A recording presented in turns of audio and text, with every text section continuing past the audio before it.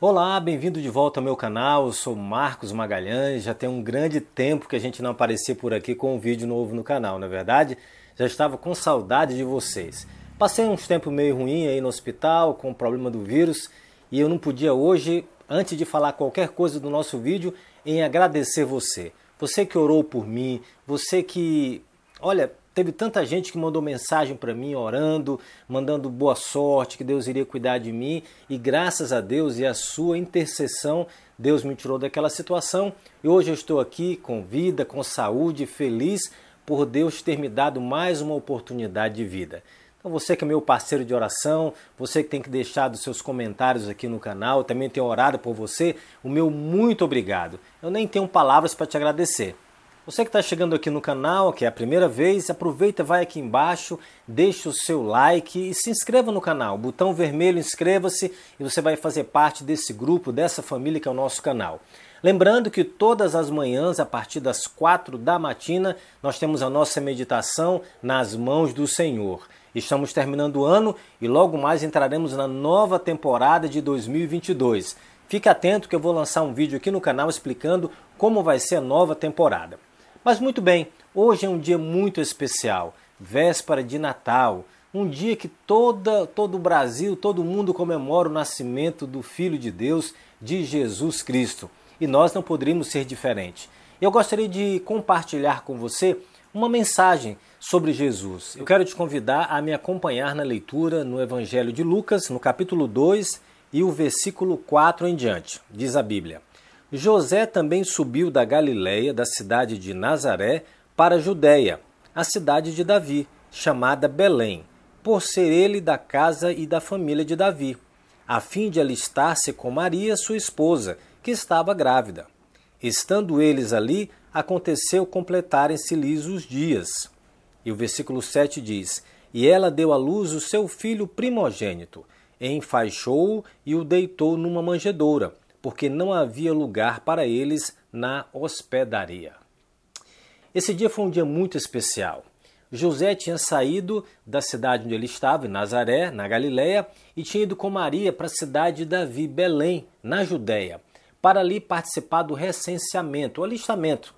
E quando eles estavam lá em Belém, o que, que acontece? Maria se vê na hora de dar à luz o filho. Ela estava nos dias de nascer a criança. Então José pega sua esposa e vai à procura de um hotel, de uma hospedaria, para que pudesse recebê-los e ali pudesse Maria que Jesus nasceria tranquilamente. Mas pasmem, procurou por toda a cidade. A cidade de Belém é uma cidadezinha pequena. Ele procurou por toda ela se encontrava uma hospedaria, um hotel. Mas para sua desagradável surpresa, ele não encontrou nenhum lugar. E agora, como fazer? Você já se viu numa situação dessas?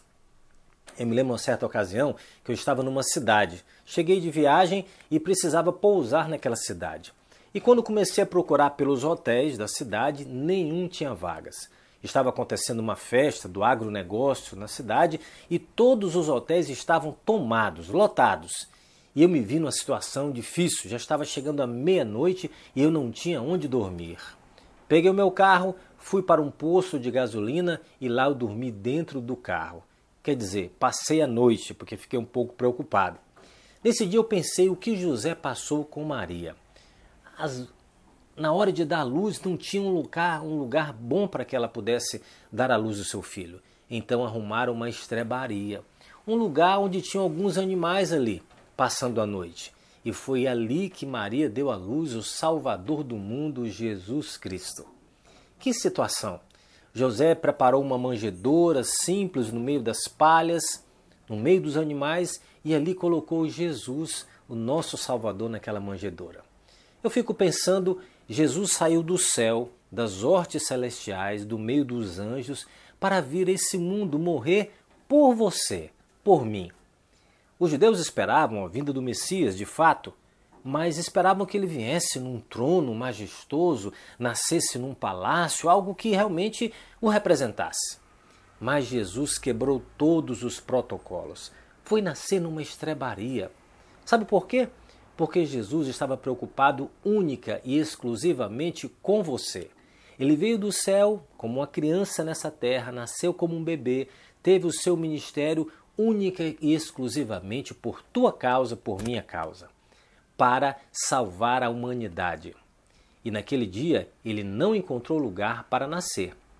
Eu te pergunto, será que Jesus hoje tem um lugar especial na tua vida? O livro de Apocalipse, no capítulo 3 e o versículo 20, diz que eu estou à porta e bato. Palavras de Jesus. Se alguém abrir a porta, eu vou entrar e vou cear com ele e ele comigo. Jesus hoje está batendo em muitas portas, mas sabe o que está acontecendo? Nós não estamos tendo tempo para Jesus. Nós temos os trabalhos, temos a faculdade, a criação dos filhos, relacionamentos e não sobra tempo para Jesus na nossa vida. E ele insistentemente está batendo na porta do nosso coração.